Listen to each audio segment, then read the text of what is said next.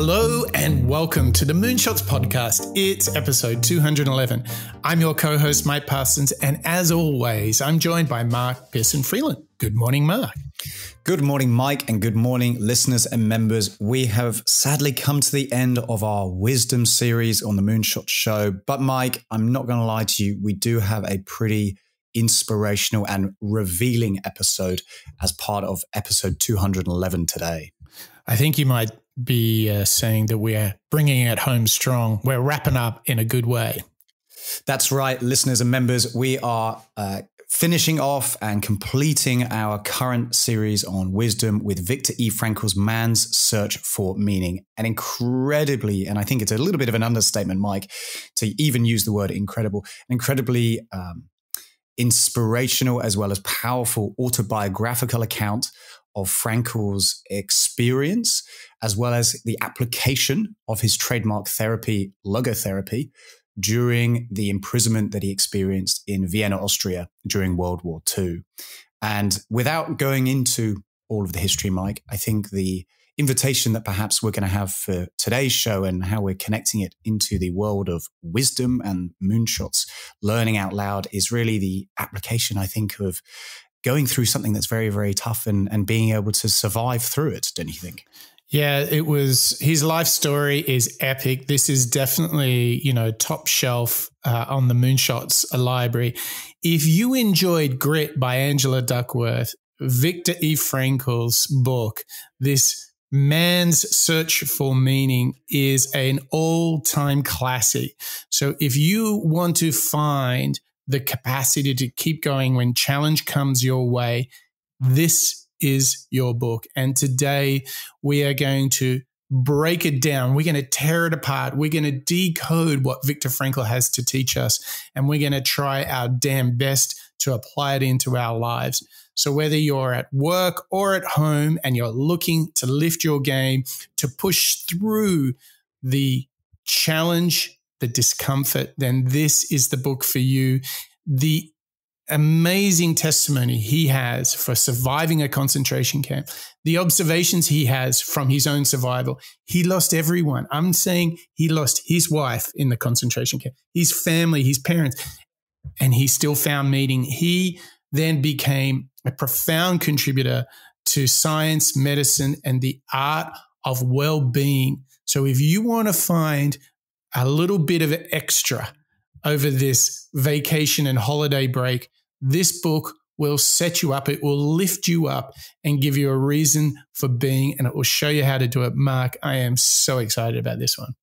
I couldn't agree more, Mike. And I think to build upon your epic introduction, we can only really hand over to Viktor E. Frankl himself, who's going to continue introducing today's show, episode 211, and discuss one of the biggest insights and ideas that he experienced and wrote about within his book, Man's Search for Meaning. And that's all about how you can find meaning in despair. Let me present you, confront you with a somewhat uh, strange definition of despair. As I'm used to uh, proclaiming is that despair uh, can be explained in terms of a mathematical equation. D, capital D, equals S minus M. What does it mean? Despair is suffering without meaning. As long as an individual cannot find, cannot see any meaning in his or her despair, he or she will certainly be prone to in its suffering, I wanted to say. No meaning in the suffering. He or she will, uh, her will certainly be prone to despair and under certain conditions to suicide. But at the moment they can see a meaning in their suffering, they can mold it into an achievement, into a, they can mold their predicament into an accomplishment on the human level they can turn their tragedies into a personal triumph. But they must know for what what should I do with it? But if people, like so many segments of present-day society and population, cannot find any meaning whatsoever in their lives, cannot see anything meaningful, they more often than not have uh, uh, to, uh, to uh, something to live by uh, I'd say at least enough to live by. They cannot see anything to live for. What is the answer to the question, why me? Why did this happen to me? The uh, answer to such a question is nothing that a psychiatrist or any other type of a scientist can come up. But I would not uh, share the opinion of, say, Jean-Paul Sartre, who said we have to accept and uh, to shoulder courageously, heroically, the absolute meaninglessness of our lives. But what I think is rather that what we have to accept is the incapacity of uh, our, uh, of our humanness, the incapacity to recognize the ultimate meaning in intellectual or merely rational terms. This is the only thing we have to accept.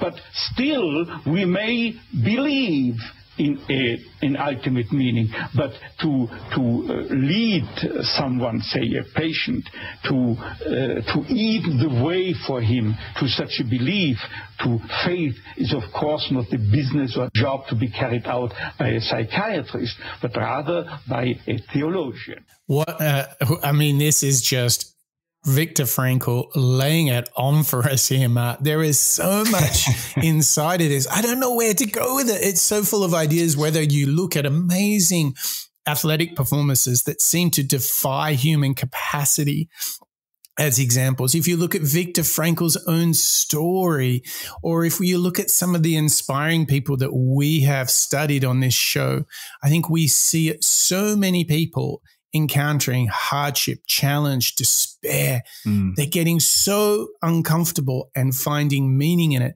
To me, it, there's so many places to go. Of all that spectrum, Mark, where do you process this story, this idea from Viktor Frankl? I, th- I think you're right. There's a lot of connections and threads that we can build to a number of different individuals as well as series that we've we've done. But for me, Mike, based on Viktor Frankl's equation that he shared right at the very beginning, D equals M minus S. Despair equals suffering without meeting, meaning actually leads me back towards our happiness series. And uh, Tal Ben Shahar's The Science of Happiness, even Neil Pasricha's The Happiness Equation. The idea that you can apply a mathematical or scientific uh, almost application towards interpreting what you experience in your life and almost uh, not gamify it, but at least put it in perspective and put it in the uh, awareness and the memory that everything does move on. You know, you're not stuck in one mindset or one situation forever. You can enter an, another uh, level, let's call it, depending on how you interact and interpret that situation. You know, I think the invitation that, that Frankl's really, or the call out that Frankl's really giving us in that first introduction clip is the fact that don't accept that life is meaningless. Instead, think right. about it as a an opportunity to try and go out and learn something from it. See either A, the meaning in a, a, certain experience, or B, work on creating a meaning for yourself that then allows you to get through those challenges. So when we talk about um, finding a meaning in life, what are some of the practical examples that you've seen which have inspired you where you're like, ah, they mm. have meaning, they have purpose? Like, where do we see this? I, I, saw that particularly when we were doing the Dalai Lama show on the uh, the art of happiness, that handbook for living, where the Dalai Lama broke down the idea of your brain as well as the concept of happiness as a muscle. And the more you work out a muscle, whether it's going for a run, lifting heavy weights, it can get stronger. And what I liked about that analogy is that if you go out and, and practice, let's say, gratitude, and you notice, oh, I love it when the sky is this blue, the next time you see the sky is that blue, you think, oh, wow, I really do like the fact that the sky is blue. And that concept to me is a great demonstration of how you can take ownership of your happiness. It's not a disconnected, and the same I think is true uh, with despair, which is where Frankl, I think, is taking us in his autobiographical book.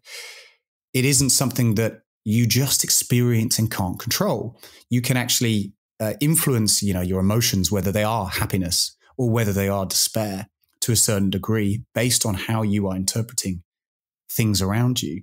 So when I am learning from the Dalai Lama with regards to happiness, when I'm learning from Viktor Frankl with regards to despair and finding meaning, I think they're both great examples of how you can step back and take control of how your brain reacts to those events within your life that perhaps feel like you're totally out of control.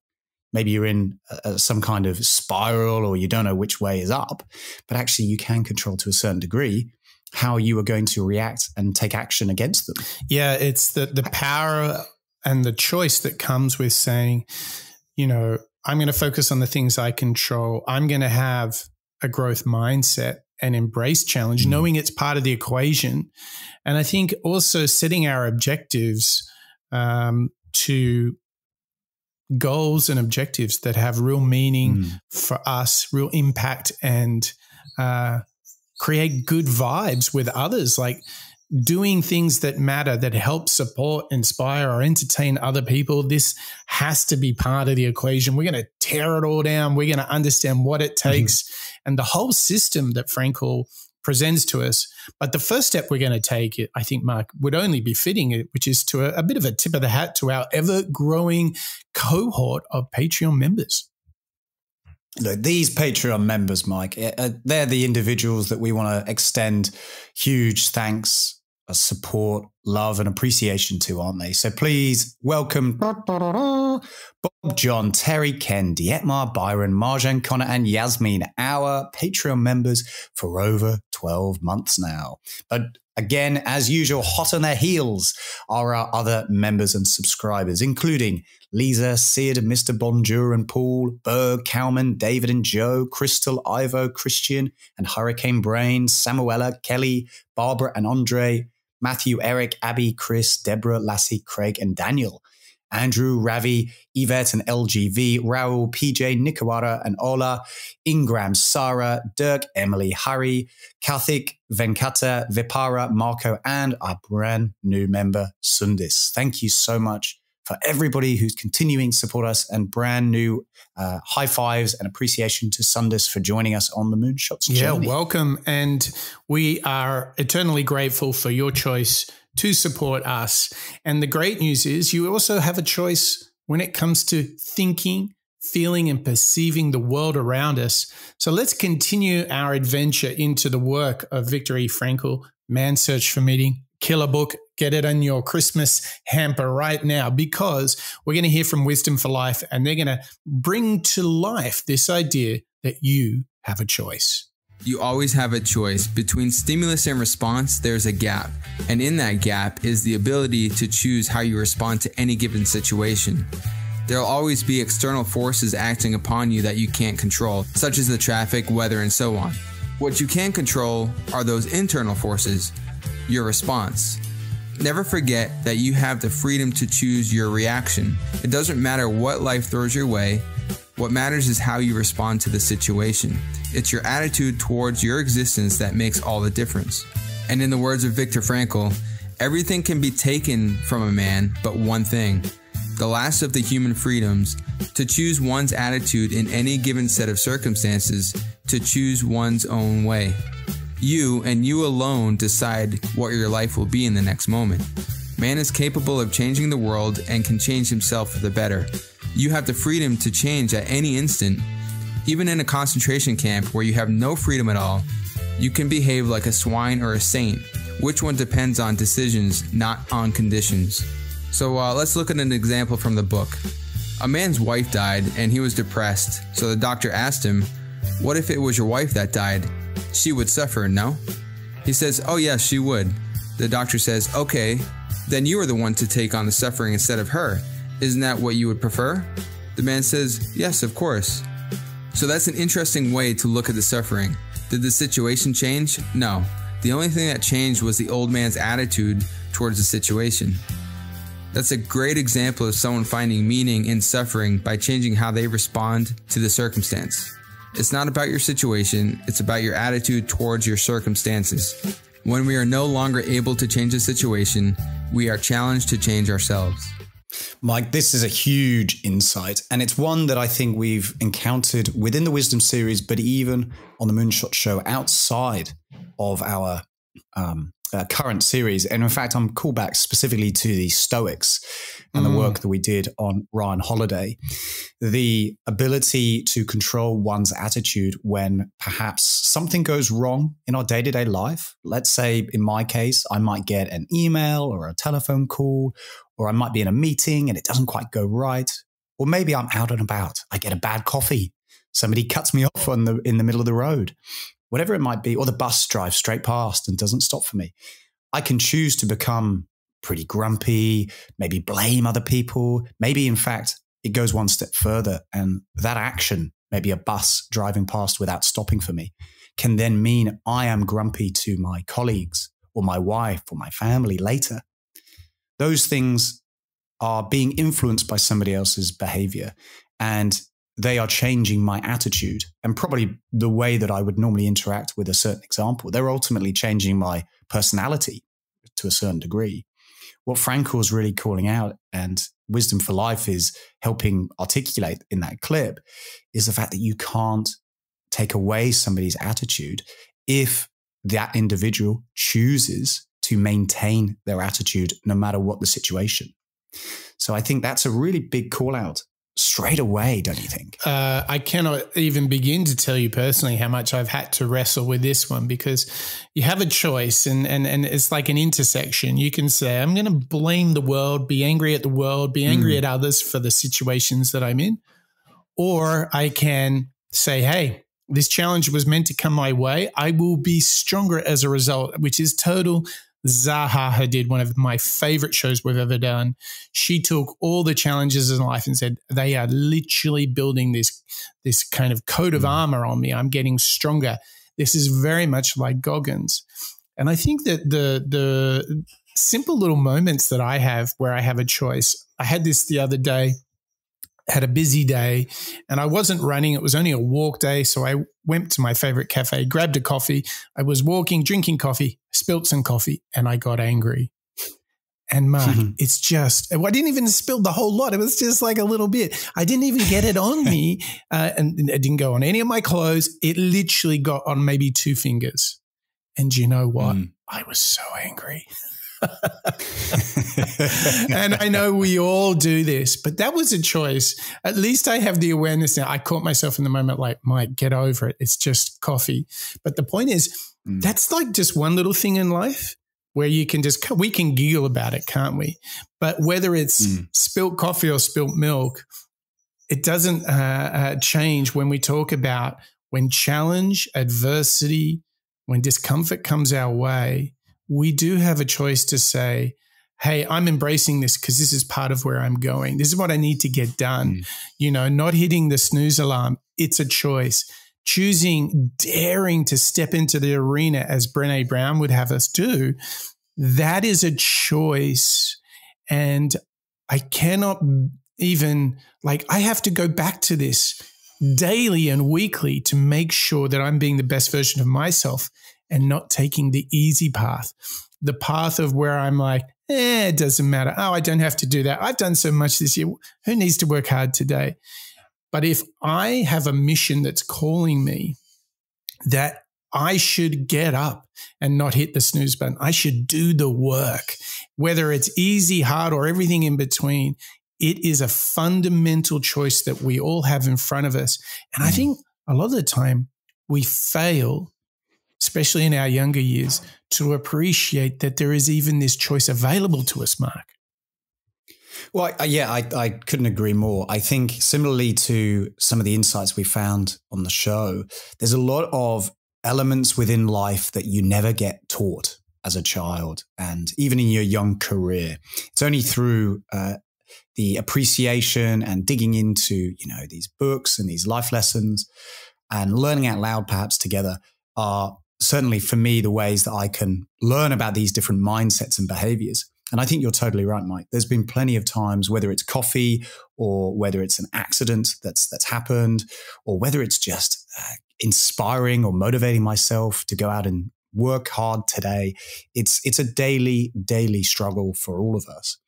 And the way that I like to try and expose myself to those um, opportunities for growth, as Carol Dweck would, would call out, is through uh, trying to do something new each day. You know, we've spoken about mantras, we've spoken about things that inspire us each day and make sure that we uh, stay on track with, with what we're trying to do. One of my goals, one of my reasons for meaning, I suppose you could say, is to try and be exposed uh, to something new each day. Maybe that's uh, an extra long cold shower, something very, very simple. Maybe it's going out and speaking to a neighbor or speaking to an individual that I haven't, I haven't uh, interacted with before. Or maybe it's just looking up something new on the internet. Maybe it's YouTube, whatever it might be. Trying to keep my brain ticking over is a way that I find a bit of meaning in my life because not only do I enjoy it, but it means that when I do come up against, you know, let's say with cold water, the opportunity of getting back into the ocean, oh, it's a bit cold. I'm somehow stronger because I have experienced it a little bit more. I've done a little exactly. bit of practice. Exactly. And I think once you know that you have a choice on how you wish to perceive events and things that come towards you, you're making one step towards satisfaction, fulfillment, reframing life. And maybe, as we're about to hear, you'll be on track for just a little happiness. Viktor Frankl, he says, again and again, I therefore admonish my students in Europe and America don't aim at success the more you aim at it and make it a target, the more you're going to miss it.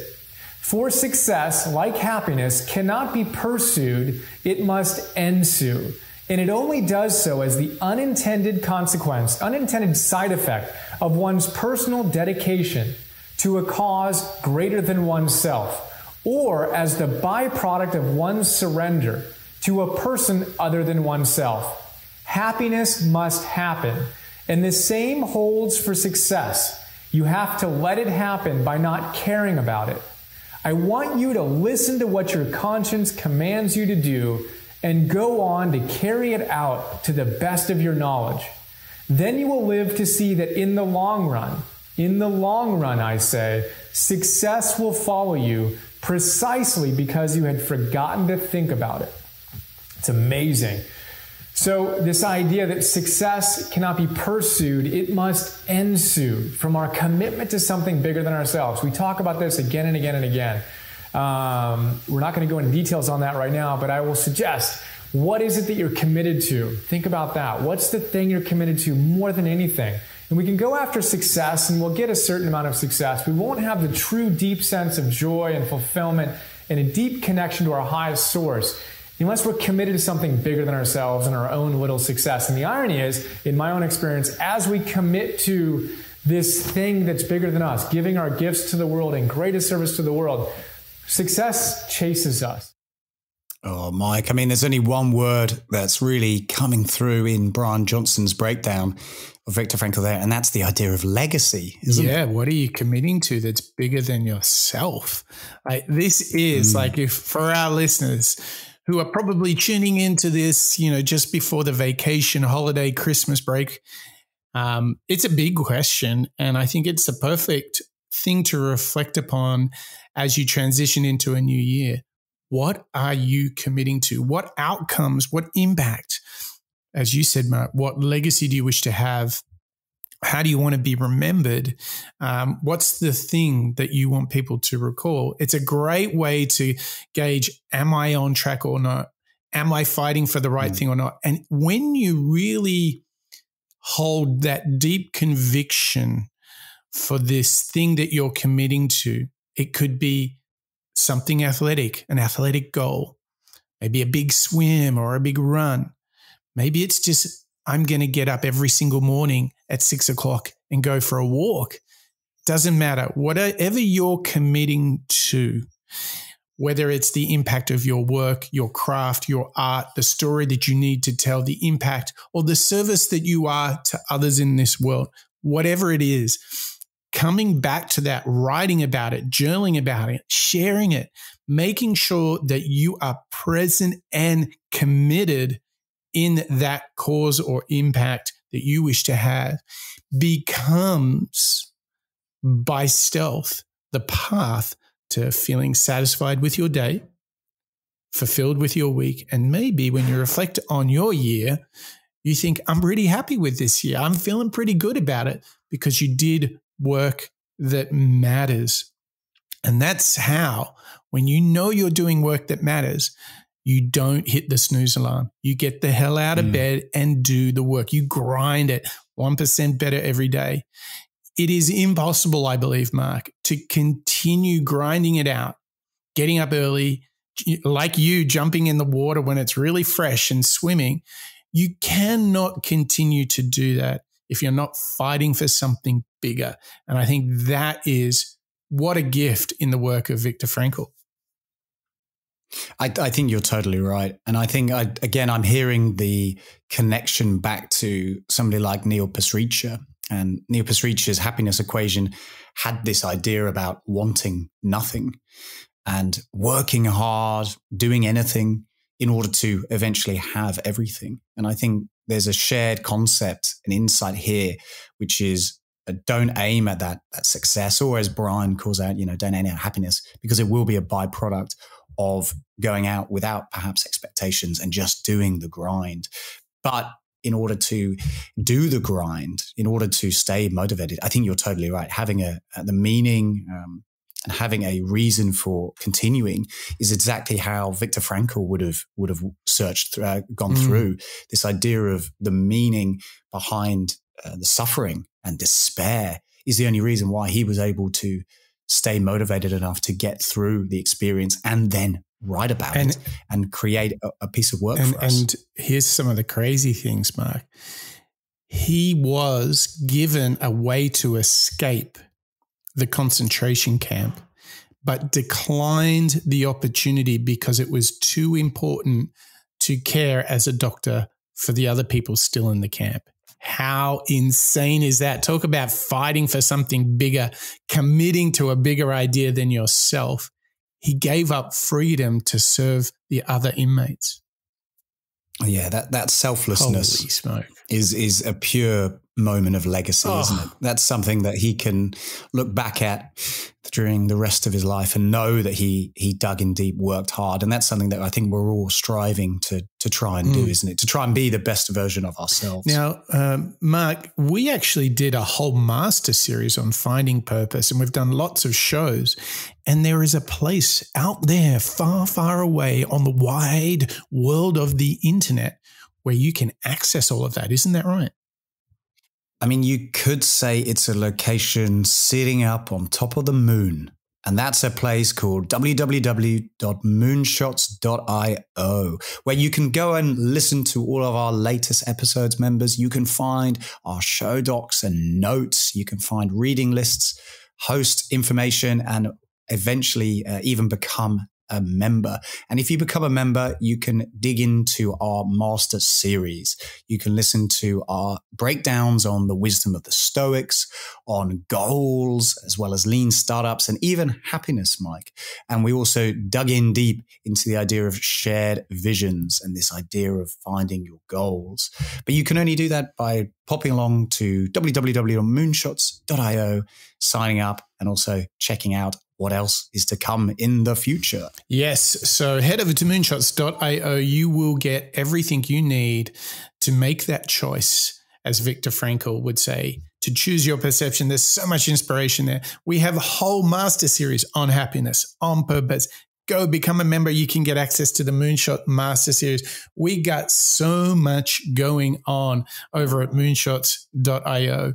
And we got a lot going on on this show, Mark. Um, just to kind of recap, we are breaking down the work of Viktor E. Frankl, his book, Man's Search for Meaning. And it is one epically, hugely popular, well read. It just, it is a timeless classic. It's, it's one of our favorites in the Moonshots library. And we have realized through his work that it's all a choice. We can perceive the things around us however we want. We can embrace discomfort, challenge. We can overcome all of the challenges that come our way. And if we commit to something bigger than ourselves, satisfaction, fulfillment, and a dash of happiness, it's all there for the taking. So, this brings us to a very, very important point, which is purpose. How do we have a purpose? And the great news is, Mark, we have a great clip from Always Improving on YouTube, and they're breaking down the work of Viktor E. Frankl and answering the notion, the calling for having a purpose. He who has a why to live can bear with almost any how. Viktor Frankl got through the terrible time in the concentration camp because he knew he would take what he was learning from the situation and write a book. He knew that that book would really help others. He chose to focus on how he was going to help other people because of the situation he was in, and he didn't focus on the terrible things that were happening around him. He thought of something bigger than himself. The way other prisoners got through the camp was to be extremely generous, giving away some of their food to other prisoners. This would give them a huge sense of purpose. These prisoners gave themselves a real purpose, a reason to keep going. They had a big why because they were staying positive for other prisoners. When you're working towards something, you find it much easier to keep going if your main aim is something bigger than yourself. Big insight there, Mike, from Always Improving, breaking down Viktor E. Frankl's insight here. And I love this um, this call out, the idea that if you know what will you know help others, or if you know what your why is, that's much bigger than just yourself. You know, making money or driving a nice car, whatever you're doing that is much bigger than you that then inspires not only yourself, but even perhaps I think what I'm hearing in that clip is you can inspire other people to do a similar uh, piece of behavior as well. And that helps the group community, whether it's uh, individuals uh, who you're working with, maybe it's your family or even your neighbors. You can all go through it together. And I, I quite like that little connection there as well. Is that something that was standing out to you in that clip? This idea of community connections? Well, I mean, it just instantly makes me go to the work of Simon Sinek and start with why. And this, I mean, how good is this? He who has a why to live can bear almost any how. And, you know, it just corresponds so nicely with the work of Simon Sinek, who's like, people don't mm. buy what you do, they buy why you do it. And when he says buy, it's sort of bigger than just a purchase in retail. He's saying people get into you, want to be with you, want to be around your company, your brand, if they are energized by the bigger mission. Because if there's a bigger mission that's not just about you, but about them, or perhaps about us, if we really raise it up, this is when people get excited. They become fans or friends professionally, personally, if you are clear on this mission as an individual or a brand or a business, there is so much to get from it. Think about it. A company that's got a really exciting mission and vision of the impact they want to have in the world has a much easier time recruiting people than those that don't. People who want to live a happy, healthy life, they're just great to be around, aren't they, Mark? Yeah, exactly, exactly. And I think you are um, this build on Simon Sinek's why is is an interesting connection, isn't it? Because what we're now understanding and learning is that the essential uh, concept around struggle is transferable perhaps into this idea of entrepreneurship and business and you're all any business is probably going to have uh, mm. struggles with comp- competition or, or finances or, or, dealing with um, managing people and so on, unless you have a core direction that you're working towards as a business. And we dove, dove into this in our Achieving Your Goals series as well with, with OKRs and, and managing um, the directions of KPIs and so on. I think what I'm, I'm hearing from, from that connection, Mike, is without a why, nothing, whether it's business or, or, personal can really function to the best of its ability mm. unless you have a, a, meaning without unless you have a purpose unless any of us have something that we are getting up in the morning to go out and do what are what, what inspires us, what motivates us to, to do yeah. anything. And you know what, as you're talking there, Mike, where my brain goes is, oh, hang on a second. Like there's a real aha for me. Like if you don't have a purpose, as soon as the struggle comes, you are tempting the gods of self doubt. Mm. Because let's think about it. If you're pursuing something that's hard, but you don't really believe in it, you're not really committed to it. The hardship starts, and then you're like, oh man, this is really hard. I'm not sure if I can put in the energy. If I don't put in the energy, I'm going to look stupid to others because this ain't going to work. And this really, uh, I cannot begin to tell you how much when I was young, I was avoiding doing the hard work, avoiding the struggle for fear of failing publicly. Mm.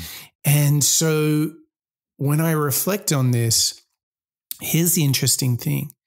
When you really gave it everything you got because you really cared about it, the outcome is kind of like the technical outcome is marginal in the end because you left it all on the field to use a great sporting analogy. You gave it everything you got. So you know you worked hard.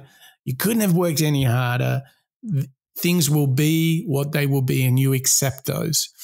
But it's when you haven't signed up in your heart for something when you haven't signed up mm. and committed it to your mind and to your habits, as soon as the, the rough waves come, you abandon ship and go back to shore, don't you? yeah. And actually, to, to build on that, Mike, for me in my career, uh, particularly when I was younger, I struggled with understanding what the point of, of doing you know a particular job was because I didn't have the meaning, I didn't have the purpose.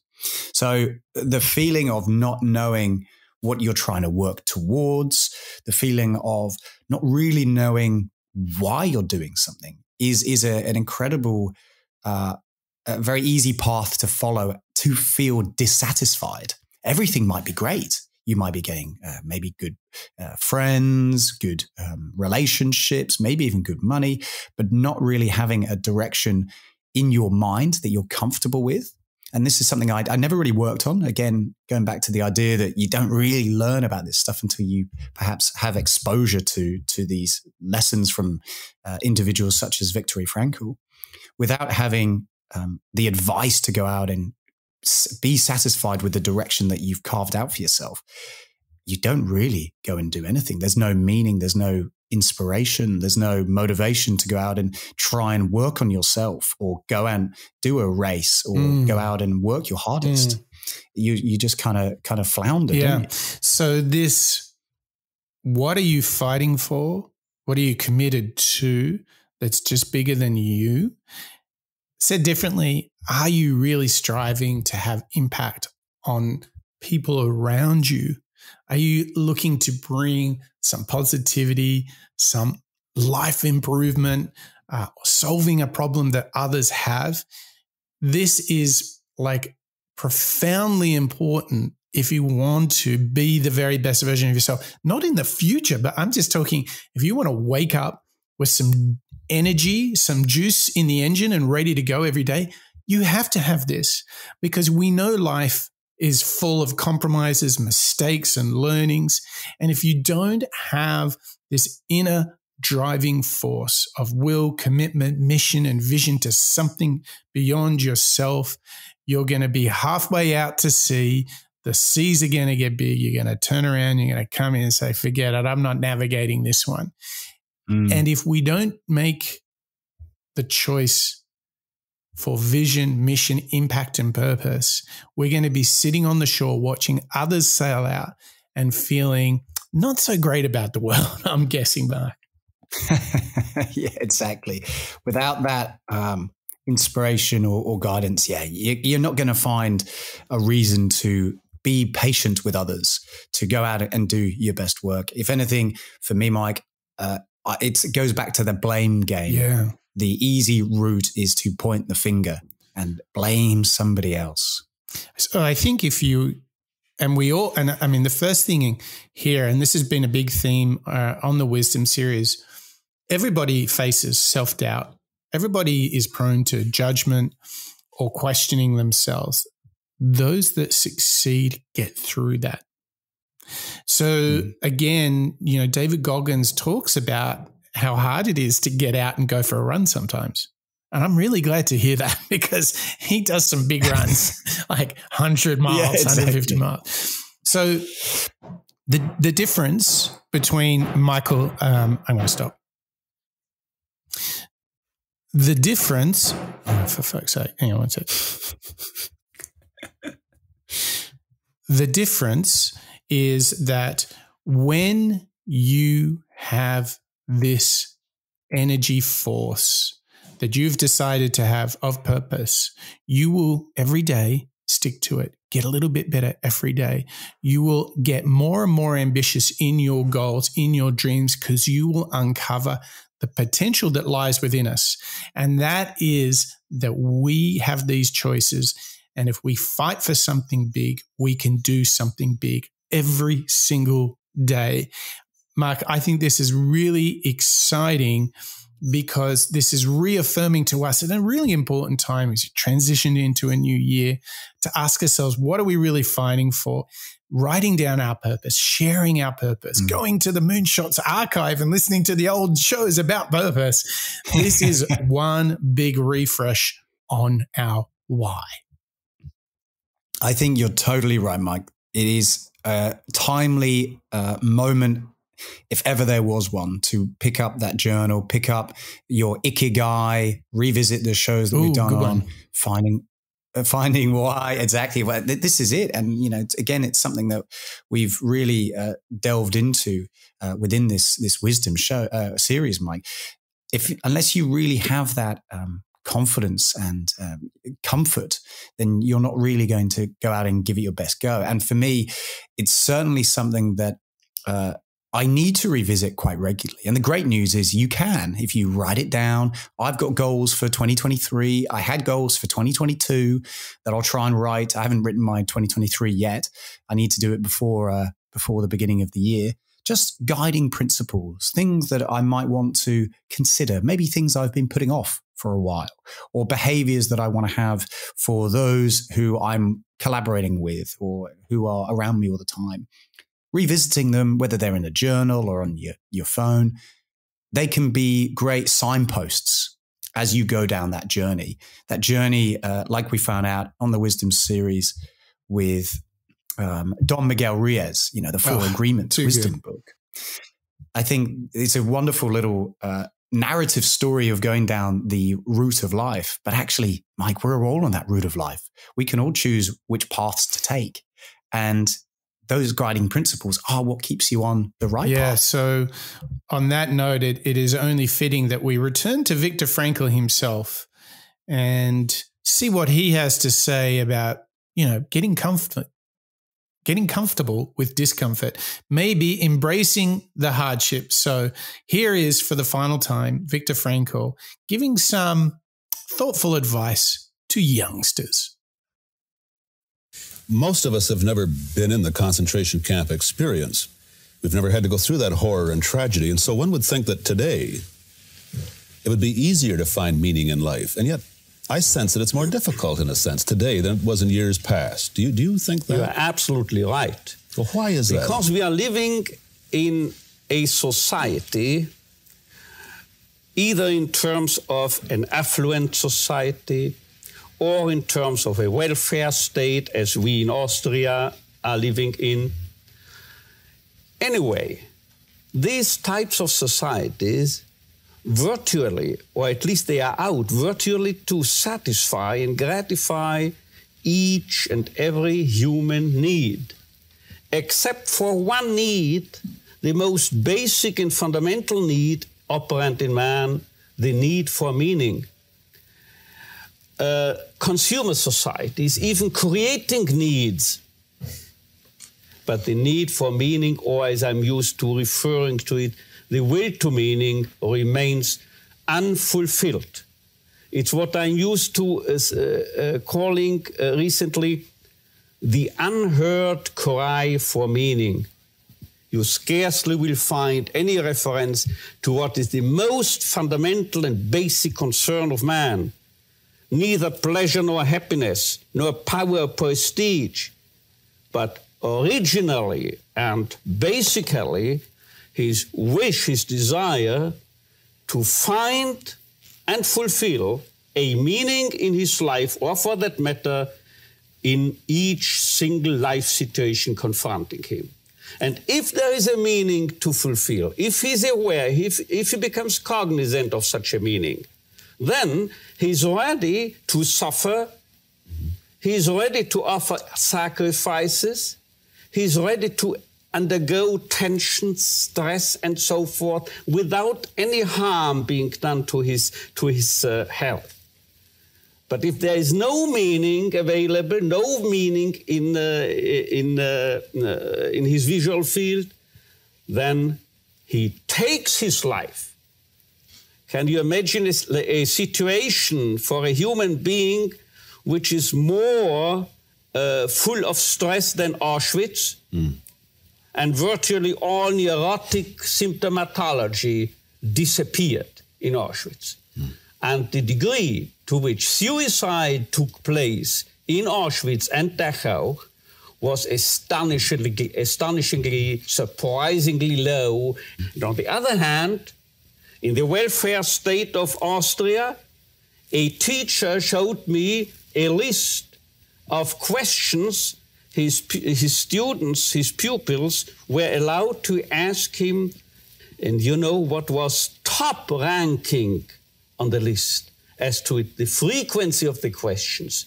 Suicide among youngsters of 14 to 15 years of age in a welfare state such as Austria suicide.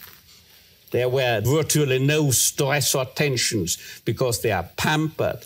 Nobody uh, allows himself to challenge them. What young people need are ideals and challenges, personal tasks, and, and to begin with, in the first place, examples, personal examples, mm-hmm. but not the cowards coward people who don't venture to confront them with anything because they might become angry because they are challenged. Neither parents nor school teachers are courageous enough to challenge them. Don't arouse tensions. Mm. Don't create tensions. Don't put stress on them. Mm. See? Uh, uh, people are today, they are not over demanded, they are under demanded.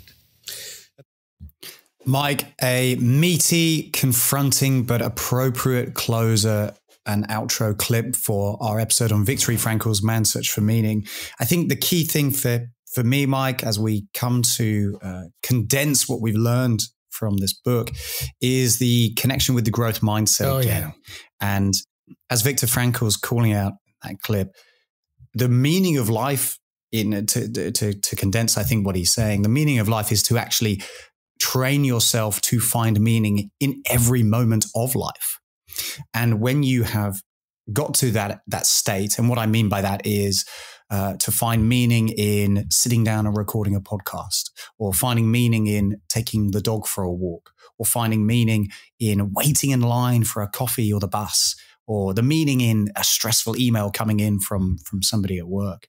If you can get to that level, then suddenly everything that you encounter is something to uh, to be past. Nothing is permanent because you can look at stressful moments as well as happy moments as opportunities that you know just come up. There's no blame game. There's no poor me. It's just an mm. event that you're going along with. It's like the waves of an ocean. It, you're just riding. Isn't it out. crazy though for him to talk about all these people living in comfort having a higher suicide yeah. rate than Auschwitz or some concentration camp and it is like the ultimate uh, scientific test of you need to be fighting for something and you will be amazed at your own fortitude and capacity. This is what David Goggins talks about so much. We don't even realize what we can do until we put our mind to something, until we fight for something. And I think that if we want to have an alert system, if it should be this if we're getting too comfy, if it's all getting too easy, there's no stretch goals. They talk about good OKRs being those that have real stretch. Like you should never achieve mm. all of your objectives and key results because then you've set it too easy. There's always got to be a bit of stretch. Likewise, there's always got to be a little bit of discomfort um, because that's when you're growing. If you're going to the gym and you never saw after it, then you would question, Am I working out enough? Right.